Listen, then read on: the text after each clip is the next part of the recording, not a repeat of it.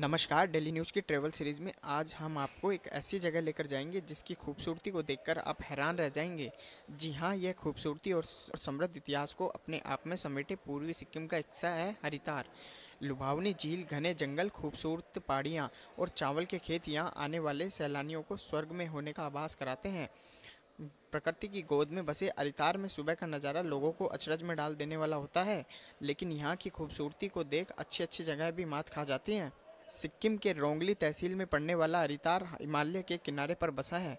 गंगटोक से पाकयोग या रंगपो होते हुए यहाँ पहुँचने के लिए चार घंटे ड्राइव करनी पड़ती है। हरितार सिक्किम से काफ़ी कटा हुआ है और इसकी सीमा कंचनजंगा पहाड़ से लगती है। 1904 में भारत तिब्बत व्यापार समझौते से अरितार को प्रसिद्धि मिली। सिक्किम में जब नई सड़क का निर्माण किया जाने लगा तो तिब्बतियों के मन में शंका पैदा हुई और इसके चलते यहाँ पर युद्ध छिड़ गया तिब्बतियों ने सिक्किम में बना जेलेपला के निकट लिंगटू पर कब्जा कर लिया। के बाद लाडियंग के नेतृत्व में तिब्बतियों से एक संधि की गई। इसका उद्देश्य तिब्बत में ब्रिटिश के व्यापारिक हितों की रक्षा करना था।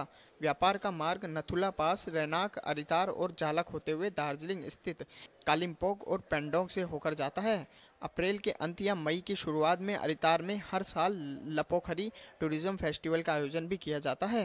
एडवेंचर को पसंद करने वाले लोग इस फेस्टिवल की ओर खूब आकर्षित होते हैं। यहाँ बोटिंग, घुड़सवारी, परंपरागत तीरंदाजी, प्रतियोगिता और पहाड़ियों पर छोटे ट्रैकिंग का आनंद लिया जाता है। इतना ही नहीं, एडवेंचर के लिए यहाँ रॉक क्लाइंबिंग का भी खूब क्रेज है। अरितार की जातीय संस्कृति और भोजन ने इसे विश्व भर के पर्यटकों के बीच लोकप्रिय बना दिया है। फेस्टिवल के दौरान यहाँ स्थानीय स्वादिष्ट भोजन के अलावा आग पर पके मांस और स्थानीय शराब पर्यटकों को भी परोसा जाता है। अगर आप प्रकृति और एडवेंचर को पसंद करते हैं तो अरितार घूमना आपको कभी नहीं खलेगा। यहाँ घूमने के दौरान आप सुंदर जंगल लंबे लंबे वृक्ष और विशाल पहाड़ियों का आनंद भी ले सकते हैं। धन्यवाद।